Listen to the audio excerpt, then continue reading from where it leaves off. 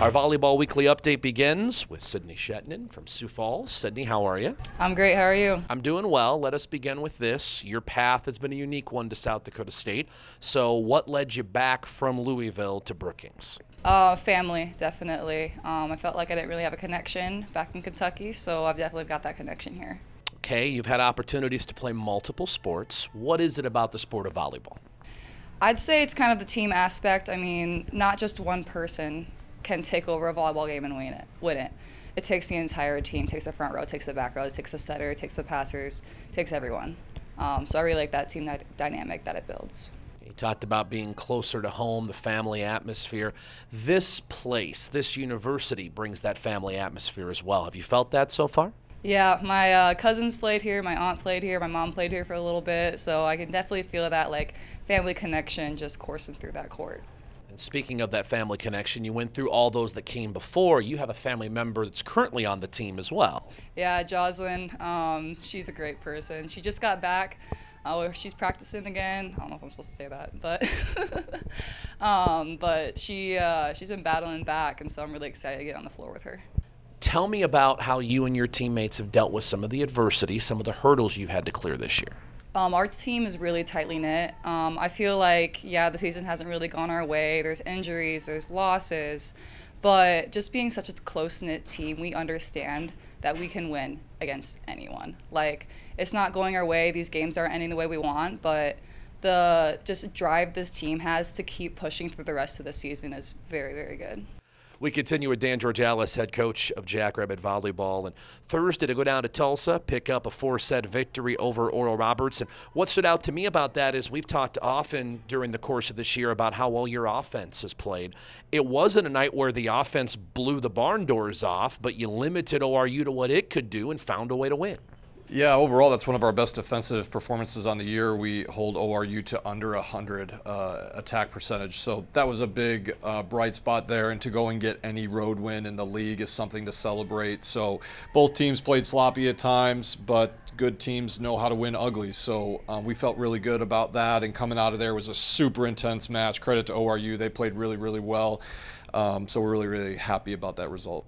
To win when you maybe don't have your strength going as well as you want, that says a lot about a team. Yeah, one more um, lick of adversity for us. We are running a lineup on Thursday and Saturday for the first time with more players playing out of position. So it is what it is. Our group responded really well. We got some really good um, system performances and um, really happy for, for us to get the result. And Saturday, go to Denver, and things just got away from you at times against the Pioneers. Yeah, we played really well at times. The first set felt like we kind of let one slip away and just couldn't take advantage of, of them playing a little high error a huge lead for us in the second set that we blow, and, and ultimately that's my responsibility just to try to figure out how to get us to the finish line. So I credited our team. You know, we played really, really hard when we were down, and we, we, we played really, really hard um, all the way to the end, and I, I think that just speaks a lot about um, how much belief our team has. So we're going to carry that into three matches in five days here, which certainly is going to be another challenge that we're excited for.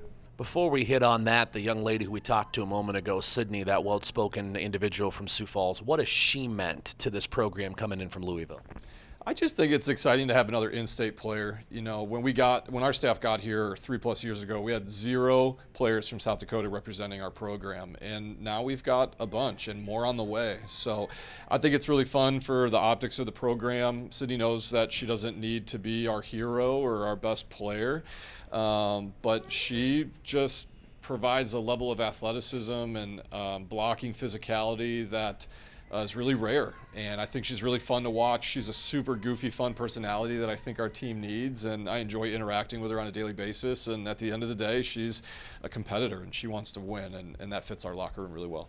All right, going back to what you mentioned, you got three matches in five days. It starts tonight in Vermillion, the rivalry against USD. Then you're home for two. You got faculty appreciation tied into it. This is a big week for your squad. Yep, three matches in five days coming off the road trip is certainly tough, but um, we're excited to go down to Vermillion today. Those rivalry games are always super intense, and it just kind of feels like a new matchup. We've got a lot of freshmen in our starting lineup, and so do they. So um, just the makeup of our two two teams kind of feels different for the first time. We've we've both kind of had some senior laden teams um, the last couple years, so we're excited to play them, and then two home games uh, against St. Thomas and Kansas City. Playing those teams for the second time um, is certainly different. A caveat of the schedule: we've now played Denver. We'll play St. Thomas and Kansas City twice, even before we played North Dakota once. So.